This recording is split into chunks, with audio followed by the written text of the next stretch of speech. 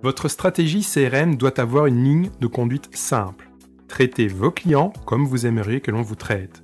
Ce mantra vous fait entrer de plein pied dans l'approche relationnelle, qu'elle se situe au niveau du marketing, de la vente ou du cycle de production et du SAV.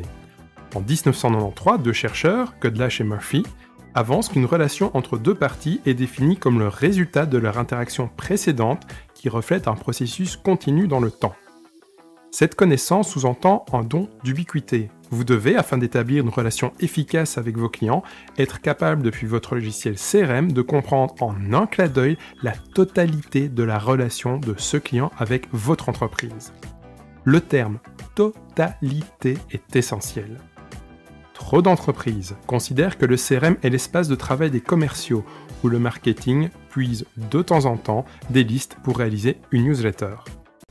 C'est en effet totalement faux. Comme vu dans la précédente vidéo, la relation client s'établit sur la totalité des interactions.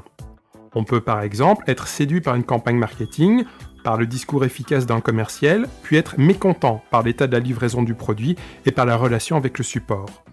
Retenez cette phrase. La relation client, c'est un sentiment, et on ne badine pas avec les sentiments.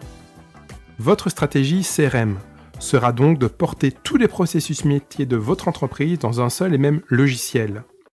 Votre CRM sera donc un espace de travail collaboratif où chaque département travaillera en équipe afin de défendre la même politique de relation client.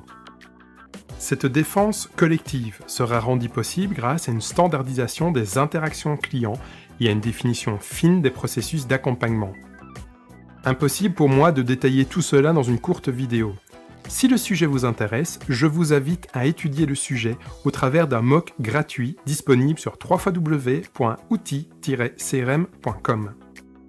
La définition de la relation client ayant été établie, la notion de stratégie ayant été élaguée, je vous propose maintenant de visionner une troisième vidéo qui abordera l'épineux sujet de l'intégration de votre CRM.